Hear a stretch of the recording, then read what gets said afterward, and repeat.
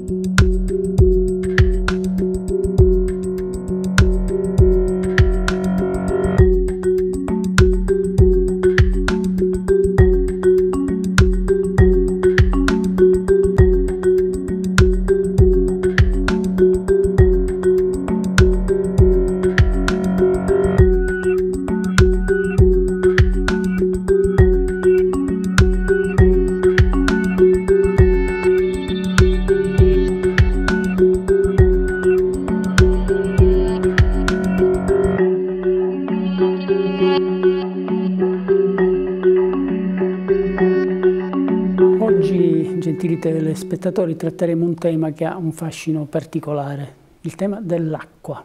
Intanto cominciando con una notizia abbastanza inedita che devo alla emittente che mi accoglie in questi programmi, cioè che l'acqua potabile di Palermo è una tra le migliori del mondo, una delle più sane e soprattutto trova il suo uh, ricettacolo in luoghi di straordinaria bellezza. Io ho avuto la fortuna di vedere uno spot fatto dalla, dalla, da, questa, da, questa, televisione e devo dire che sono rimasto francamente sbalordito.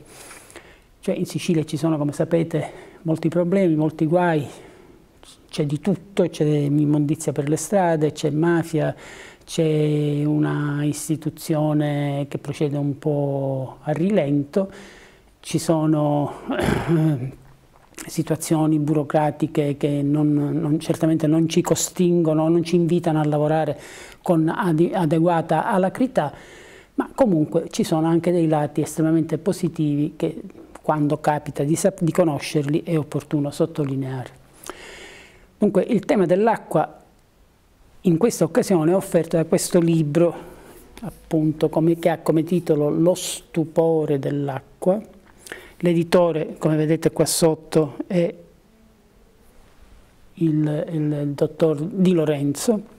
È un libro, secondo me, di grandissima importanza. Nella retrocopertina c'è questa frase di Leonardo Sciascia, la sete dell'acqua, la sete degli uomini, sicché l'apparizione dell'acqua è sempre un prodigio, un miracolo. È una frase naturalmente molto bella, che però esamina soltanto un aspetto del problema, cioè l'acqua come commestibile, cioè nel senso che senza acqua non riusciremmo a sopravvivere, non riuscirebbero a sopravvivere i campi, non avremmo più aranceti, vigneti, limoneti e così via. Il mondo nostro si trasformerebbe in un deserto, Qualcuno dirà e che cosa c'è di strano, il deserto è stupendo, sì, ma la vita improvvisamente sparisce. Quindi l'elemento segnato da Sciascia, l'argomento segnato da Sciascia è di grandissima importanza, naturalmente. Però io mi permetto di dire che ce n'è un altro non, non da meno, e forse anche ha qualche merito in più. Ed è quello che Melo Minnella, l'autore delle fotografie che voi vedete scorrere mentre io parlo, che Melo Minnella ha ben messo in rilievo. Cioè una delle immagini che mi ha più colpito è questa, questa iniziale dove si vedono delle donne che camminano su un corso d'acqua rispecchiando loro, il loro corpo nella, nella, nella sottostante liquidità. Ora, voi sapete benissimo, questo tema è poi ribadito da infinite altre fotografie, Ecco qua ce n'è un'altra di straordinaria bellezza. E voi sapete benissimo che uno dei problemi del, che ha sempre contrassegnato la filosofia o il pensiero umano è sapere come noi riusciamo a riconoscere noi stessi. Cioè noi apparteniamo a un mondo e veniamo in questo mondo in, in un'età abbastanza tenera, cioè siamo dei, delle, delle, persone inadatte alla vita se non ci fossero i supporti dei genitori e così via. E improvvisamente noi ci riconosciamo. Qual è l'elemento fond fondativo di questa riconoscibilità nostra? L'elemento fondativo è precisamente l'acqua, perché l'acqua non è soltanto appunto un commestibile, ma è anche per esempio uno specchio. Infatti nel linguaggio corrente si dice lo specchio d'acqua. Ora, che cosa ha messo in non cale questa capacità di rispecchiamento? Il fatto che il rispecchiamento implica l'idea del narciso e del narcisismo. Il narciso e narcisismo sono stati votati dalla subcultura con, contemporanea, ma anche in passato, a una posizione di minoranza, cioè il narciso è colui che è il vanesio, ecco, il termine esatto è precisamente questo, è il vanesio, il quale si rispecchia nell'acqua e scopre il suo volto così bello da innamorarsi di se stesso. Su questa, su questa idea, secondo me assolutamente banale e limitativa, persino il grande Sigmund Freud tirò fuori una demolizione del narcisismo e di Narciso. Ora la mia domanda è semplicissima ed è verificabile. Voi sapete che Galileo Galilei a un certo punto dimostrò la gravità tirando delle mele da una torre, cioè una cosa di una semplicità estrema. Fino a quel momento la gravità non era riconosciuta dalla scienza ufficiale, sebbene fosse fin troppo evidente che c'era. allo stesso modo procederò io dicendovi, ponendovi una domanda molto semplice. Quando voi vi rispecchiate in un lago, che cosa vedete nel lago? Ecco, nel lago, guarda caso, si vedono stelle, luna, sole, alberi, animali e così via, no? Se non sbaglio. Pesci che guizzano fra le, fra le onde, eccetera, eccetera. Quindi l'immagine di Narciso reale, qual è? Narciso osserva se stesso nel cosmo. Non si innamora quindi di se stesso, ma si, si innamora di una cosmologia estremamente complessa. E questo già fa giustizia del fatto che il narcisismo sia l'equivalente di onanismo, cioè qualcosa che ci isola dal resto del mondo. È assolutamente falso, è qualcosa invece che ci integra nel mondo ed è una delle rare occasioni in cui noi riusciamo ad andare oltre la greppia, oltre l'ombelico e pensare che il nostro destino è contrassegnato anche da tutto ciò che ci circonda. Queste cose i grandi artisti lo hanno sempre capito. Non lo hanno capito molti intellettuali, ma comunque non ci sorprenderemo per questo, perché gli intellettuali hanno anche loro dei meriti, anche se spesso questi meriti sono piuttosto rari. Allora, tanto per citare dei nomi, Byron era poeta, come tutti voi sapete, insigne, ma era anche un nuotatore eccezionale, forse uno dei più grandi del suo tempo. Noi abituati ai nostri scrittori intellettuali, cioè macilenti, malridotti e così via, che disdegnano qualsiasi tipo di impegno fisico, dimenticandosi che per la Grecia invece la fisicità era parallela alla, alle capacità intellettuali, come dimostra la statuaria, come dimostra la loro ammirazione per personaggi come Alcibiade e così via. Bene, questi, questo Byron riusciva a attraversare la manica a nuoto in, in, in tempi in cui il nuoto si apprendeva da sé, non c'erano scuole particolari. Perché Byron era molto attratto dall'acqua? Byron aveva un, un, piede caprino, molti di voi forse non lo sanno, ma è così. Era un uomo di straordinaria bellezza, ebbe successi clamorosi con infinite donne, ma aveva un piede caprino. Cioè quando camminava doveva stare attento e assumeva un andamento saltellante, proprio, se ci pensate bene, delle capre o anche degli stambecchi e così via. Quando penetrava in acqua, questa limitazione improvvisamente spariva. Lui diventava integro in tutto il corpo e quindi dava dimostrazione di ampia libertà persino dalla menomazione. Io qualche tempo fa ho conosciuto un, un signore, un giovane signore che aveva dei forti handicap, ma quando entrava in acqua diventava di un'eleganza da invitare veramente al sogno. Improvvisamente dimenticava tutto e nuotava e guizzava nelle acque e infatti diventò campione delle Paralimpiadi, che come voi sapete negli ultimi tempi hanno il merito particolare di impegnare in gare atletiche anche coloro i quali soffrono di handicap. So che oggi la parola handicap non si usa più, ma insomma la usiamo per semplificazione. Virginia Woolf. Virginia Woolf era una scrittrice forse tra le più grandi del Novecento mondiale, affetta da qualche turba psichica e un giorno si recò, era, era anche presa dai rumori del mondo, cioè che la disturbavano in maniera terribile. Un giorno fece una piccola ed elegantissima operazione. Si avviò verso un laghetto che era vicino a casa sua, lasciò sulla riva il suo bastone d'argento, si immerse lentamente in acqua e sparì nel nulla. Ma i rumori erano improvvisamente annullati. Ci sono libri sublimi sulla, sul, sull'acqua e sul, sui loro poteri straordinari, ci sono anche stupende poesie. Io ho ricordato qualche tempo fa Eliot, Morte per acqua, che è veramente storia importante uno, eh, ed, è, um, ed, è, trascritta questa morte per acqua in uno dei poemi più importanti dell'intero Novecento mondiale, cioè La terra è desolata. E Melville, come voi sapete, scrive il Moby Dick perché in fuga dalla cultura e dalla civiltà del suo tempo si affida alle acque che lo cullano verso continenti lontani, verso isole meravigliose e, e lascia il capolavoro assoluto, forse della marineria di tutti i tempi, cioè Moby Dick, il cimitero marino di Paul Valéry, eccetera, eccetera.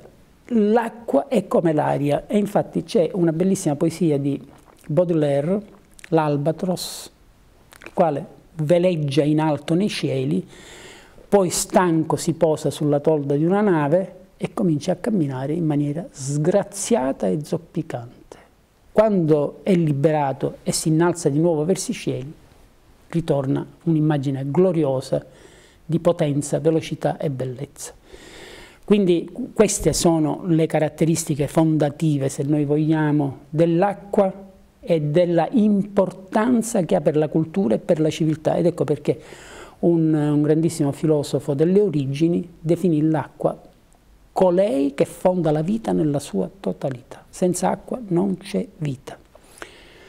Ora, Melo Minnella ha innumerevoli lavori alle spalle. Io ho calcolato, e lui mi ha detto che forse sono ancora ai minimi termini, ho calcolato che nel, nel, suo archivio ci saranno almeno 4 milioni di scatti, cioè qualcosa di mostruoso. È da 50 anni e più che lui lavora giorno per giorno a raccogliere immagini e a conservarle nell'archivio.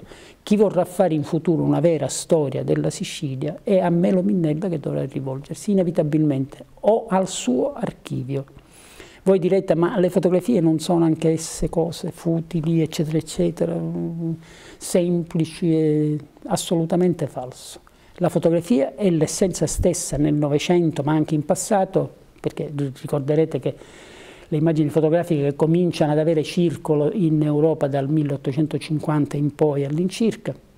Ecco, ha importanza perché a parte il valore estetico documenta Ora un grandissimo storico che si chiamava Theodor Mommsen ampliò lo spazio di interventi sulla, sulla ricerca storica quando cominciò a capire che le monete erano essenziali per capire per comprendere proprio in profondità come vivevano in quei tempi, qual era il livello di usura e così via.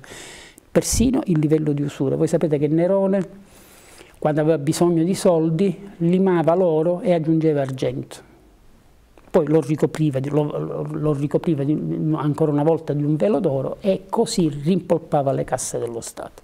Come vedete le, la storia è straordinariamente controversa ma è anche molto interessante da indagare e da valutare e da apprezzare nei, ne, nelle, nelle, sue molteplicità. La fotografia è quindi documentazione anche, senza la fotografia difficilmente noi riusciremmo a capire i passaggi violenti di civiltà, i paesaggi che cambiano, eh, l'invadenza per esempio dell'edilizia selvaggia, se non ci fossero anche questi straordinari personaggi che attimo per attimo della loro giornata vanno in giro a recuperare per noi la memoria delle cose. Ecco qual è il senso vero dell'immagine fotografica. Quindi 4 milioni di scatti perlomeno, una capacità di lavoro infinita. Io diciamo che mh, sempre meno mi emoziono di fronte ai personaggi che frequento e che conosco, ma di fronte a Melo Minnella francamente mi emoziono ancora. È una persona tra l'altro estremamente riservata, estremamente pudica, io oggi non l'ho neppure invitato a questa trasmissione, preferisco parlare io di lui perché lui si turberebbe nel sentirsi giudicare, per esempio come io penso, uno dei più grandi talenti del nostro tempo. Ecco, di fronte a una frase del genere lui si ritrarrebbe francamente inorridito, direbbe io faccio semplicemente il mio umile lavoro, eccetera, eccetera, ed è assolutamente vero che lui questo, questo, questo, che svolge questo suo compito come missione, come servizio, ma suo malgrado queste opere vanno al di là e raggiungono vette difficilmente verificabili. Io ho studiato con molta attenzione le immagini di Melo Minnella e ho scoperto delle Gestalt, in queste Gestalt significa forma formante, cioè lui quando scatta la fotografia, diceva Orvat è l'atto più banale del mondo, basta fare così, quando scatta la fotografia ha tutta però una filosofia dell'immagine ben fissata nella mente, perché in caso contrario tutti saremmo fotografi visto che il gesto è facile e invece i fotografi sono rarissimi e i grandi fotografi ancora più rari c'è tutto un retroterra di grande cultura, c'è l'occhio sapiente dietro questo scatto semplicissimo. allora, quando uh, Melo Minnella scatta la sua foto, il tema che più ricorre è la linea cioè lui ha bisogno di, di far interferire la sua, la su il suo apprendimento del mondo con il fatto che in questo, in, la capacità di immagine deriva proprio dalla linea. Ora, se riesco a trovarvi qualcosa che verifichi questa mia idea, è, per esempio se guardate queste acque, qua sotto c'è tutto un lavoro grafico particolare che che dà l'idea di che cosa sto dicendo. Poi vi farò vedere qualche altra cosa di ancora più significativo. Per esempio queste silhouette, le ho definite io così, queste sono delle silhouette. La silhouette è la scansione dell'immagine attraverso la linea a svantaggio della volumetria.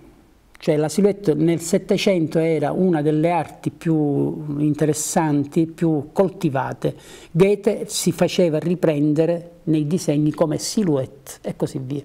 Ecco, se osservate qui, questa è l'essenza di ciò che vi sto dicendo. Cioè il grande maestro in genere è attratto dalla linea. Che cosa dice Giorgio Vasari, uno dei più grandi studiosi d'arte è il commentatore delle opere niente di meno di Michelangelo, di Leonardo e così via, che l'essenza dell'arte italiana, e l'arte italiana per lui era quella toscana, perché per esempio quella veneta non era congegnata così, è proprio nella capacità di mettere in evidenza nel dipinto la linea, il disegno. Trattiamo un minuto il tema del disegno. I grandi artisti si facevano la mano disegnando e si facevano anche la memoria disegnando. Quando un grande artista doveva fare una, un, quadro, un'opera di particolare impegno, si metteva a tavolino e cominciava a disegnare, sino a che acquistava una facilità di mano e di memoria prodigiose. Ecco perché per fare la Sistina ci vuole quella arte che Vasari definisce arte della linea perché lui, prima di mettere mano ai, a, quegli, a quegli incredibili affreschi, che sono un magistero assoluto e soprattutto sono ettari di pittura, perché di questo si tratta, ecco, quando cominciava a dipingere aveva una cosa che la mano se ne andava insomma in ultima analisi per i fatti suoi, perché aveva acquisito tale memoria dei ritmi e delle figure da rappresentare che c'era una velocità di esecuzione magistrale e neanche un errore, che se ci pensate bene, questa è l'essenza della cultura zen, la quale deve dire una cosa e deve essere definitiva. Una è definitiva, se ripete non è più cultura zen, è culturame, è roba scadente. Nella cultura occidentale questa idea zen è penetrata. Stendhal diceva io scrivo i miei romanzi e non cambio neppure una virgola scrivo di getto, ma il, dietro il getto c'era questa memoria acquisita, per cui la mano non faceva altro poi che procedere quasi per i fatti suoi.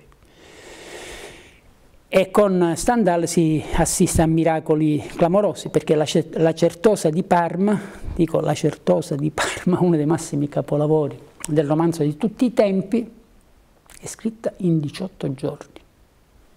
Ci sono delle imperfezioni, ci sono finali, perché lui a un certo punto si stancava, finali inesplorati, usciva con una frase di rito e concludeva il romanzo, ma proprio questi difetti fanno capire quanta era la magistrale bravura di questo straordinario scrittore.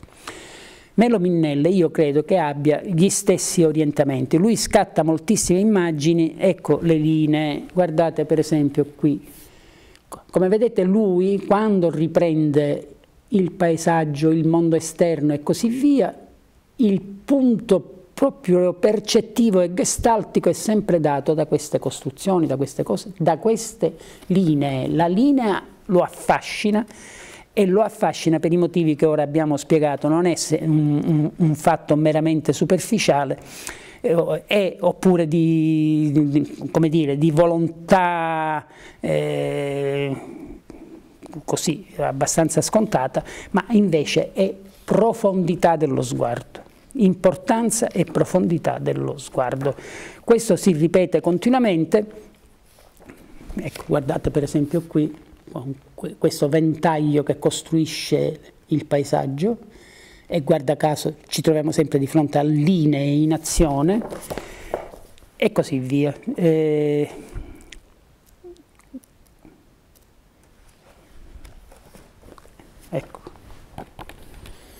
Tutto si modula attraverso la linea, persino una delle cose più evanescenti che esistano al mondo, cioè l'acqua. L'acqua si fissa nelle immagini di Melo Minnella quando emerge questo criterio straordinario, la linea.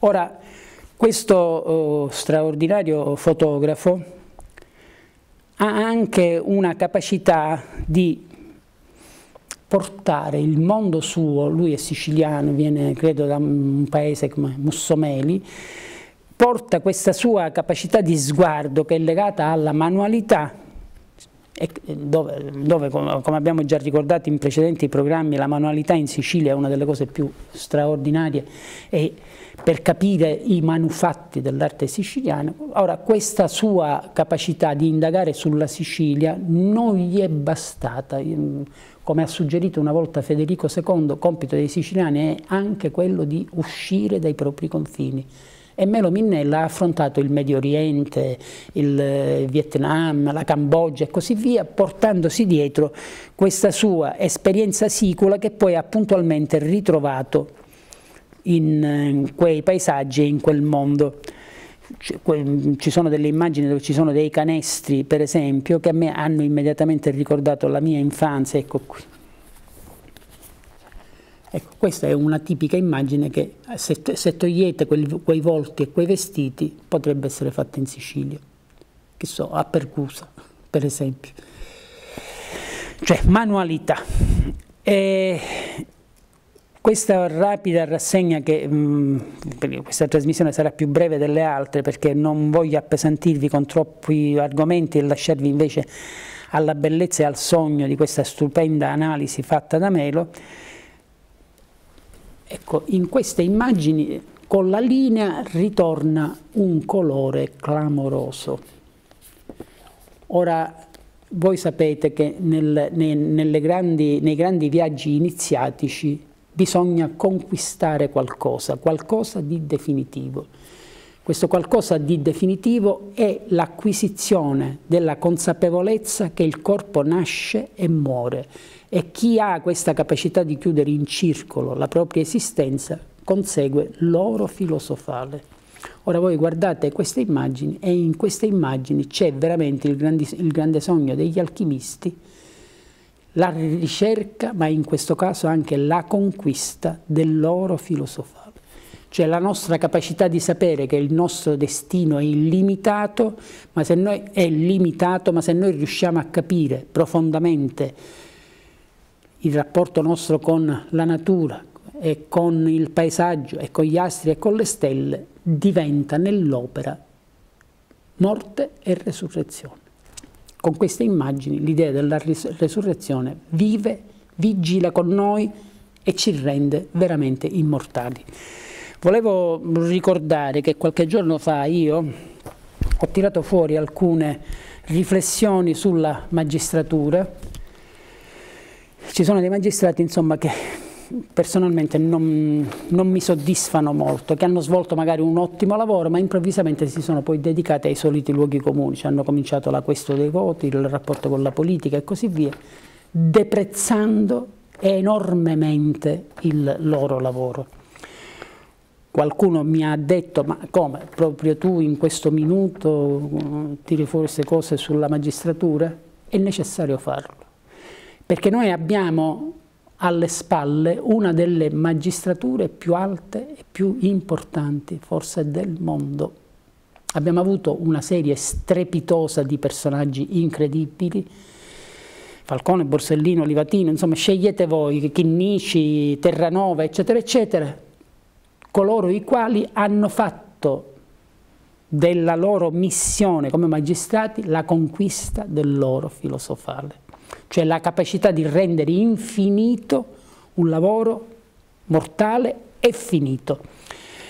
E allora grazie a Geraldina Piazza io ho in mano una stupenda lettera di, inedita di Giovanni Falcone e ve la voglio leggere perché è una lettera che commuove anzitutto per il tono, per la classe, per il garbo, per lo stile e perché è ben scritta, il che francamente credo che sia piuttosto raro. Falcone, come voi sapete, nacque nel, nel, quartiere della Calza, cioè veniva proprio da situazioni, la, la Calza era stata bombardata, quindi si era degradata enormemente.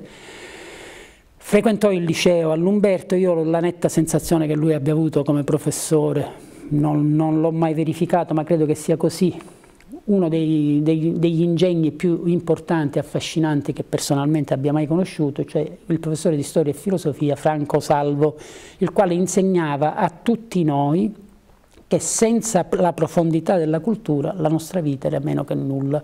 Ma questa cultura, guarda caso, non era mai noiosa, era sempre estremamente affascinante e questo ci rese la vita facile, cioè nel senso che conoscendo un personaggio del genere, quando siamo ancora, io avevo 15 anni quando lo conobbe al primo, al primo liceo, eh, conoscere un personaggio del genere effettivamente ha la capacità di renderti la vita diversa da come normalmente noi la viviamo e la subiamo.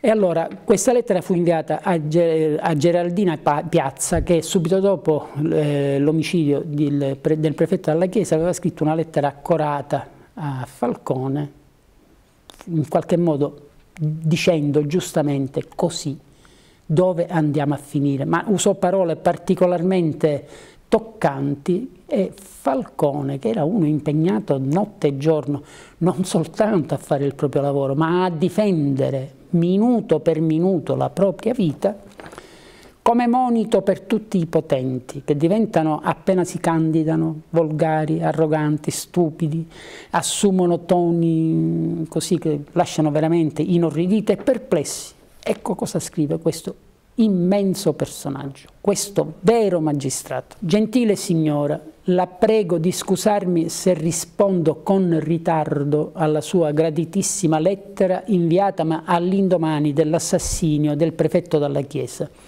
Le sue parole mi hanno realmente commosso e le sono grato per le espressioni di stima e di considerazione certamente superiori ai miei meriti. Adesso, dopo qualche mese dal barbaro eccidio, è forse lecito sperare che qualcosa stia lentamente cambiando e che la società cominci a comprendere l'estrema gravità del fenomeno mafioso e ciò costituisce presupposto indispensabile per sconfiggere la mafia. Attualmente non ci si deve illudere. La lotta sarà lunga e difficile ed è prevedibile che sarà versato il sangue di altri fedeli servitori dello Stato, stava parlando naturalmente e profeticamente di se stesso, colpevoli solo di avere compiuto il proprio dovere in un contesto in cui non tutti si comportano allo stesso modo. In questa difficilissima situazione le espressioni di solidarietà e di adesione che lei ha sentito di rivolgermi non soltanto costituiscono un conforto ed uno stimolo, ma costituiscono la migliore conferma dell'esistenza di una parte sana della società che respinge con sdegno qualsiasi tipo di convivenza con la mafia autentica vergogna regionale. Con viva cordialità Giovanni Falcone. Questa lettera è straordinaria perché c'è anche la, profe la profezia della sua prossima Barbara di partita. Questi sono i magistrati che noi amiamo. Grazie a voi tutti e alla prossima.